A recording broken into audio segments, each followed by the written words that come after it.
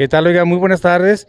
Pues miren, aquí en Arroyo Seco de abajo hay casos especiales y nos platicaba la gente que aquí estaba el asunto de Rogelio de la Torre, que es un muchacho que ocupa de sesiones de hemodiálisis, nada más que le da vergüenza hablar.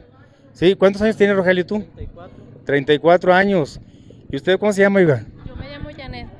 Janet. Oye, ¿cómo apareció este asunto de la necesidad de hacerle hemodiálisis a él? Pues empezó malo que la presión, la presión muy alta y fuimos al centro de salud de Tepetongo y ahí lo mandaron a hacer pues estudios más a fondo, pues como rutinarios, ¿verdad? Y ahí le salió que pues que sus riñones ya andaban al 10%. Ya no, pues ya no funcionan, pues de hecho nada, ya están como unas pasitas, ya se, se acabaron y estamos desde marzo en, en hemodiálisis.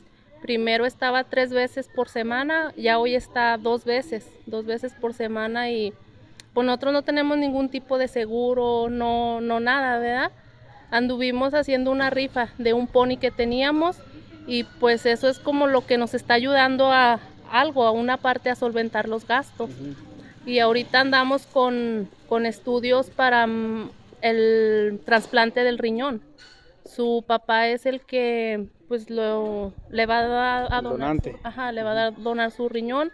Ayer fuimos a San Luis Potosí a, a que le hicieran el examen de compatibilidad y pues estamos con el proceso para el trasplante porque pues no, tristemente no podemos con esta enfermedad solventarla, ¿verdad?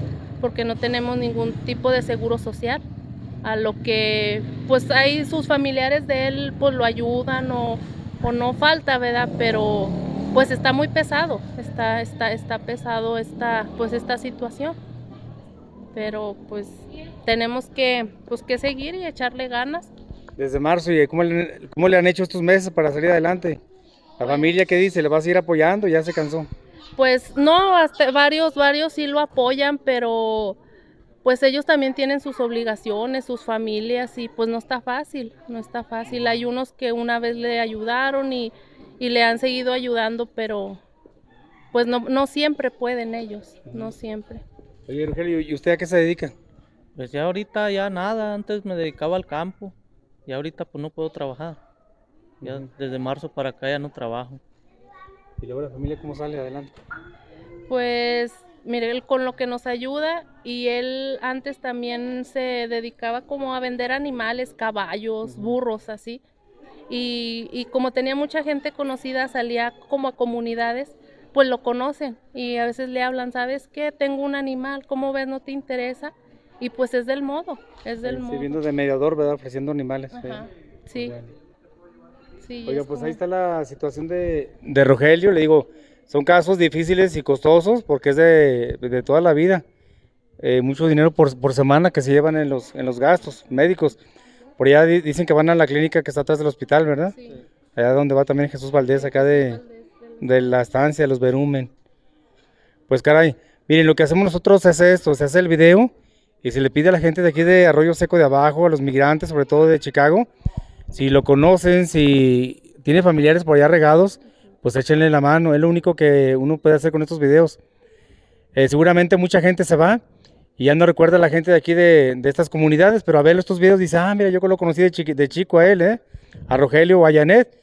Pues bueno, estos videos de eso pueden servir, de que lleguen por allá gente de Chicago, gente que tiene, ¿verdad? Alguna que tiene y que nos pueda apoyar con esta situa- situación aquí en Arroyo Seco de Abajo. Eh, vamos a, pues como siempre decimos, oiga, a encomendarnos a Dios y este video va a ponerlo en sus manos para que pueda tener alguna respuesta. Oye, ¿algún teléfono que tenga usted para que, si hay gente, que se pueda comunicar con ustedes directamente? Sí, pues mi, el- mi teléfono mío es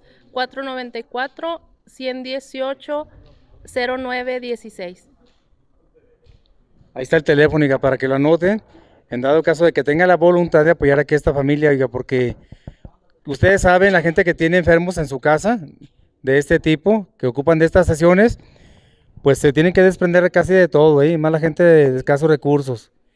Es como el caso allá de, de Jesús de, de la estancia, de Carlos, por allá en Zacatecas, que empiezan a vender su patrimonio, sus poquitos muebles que tienen, y a- para atenderse a ellos, ¿verdad?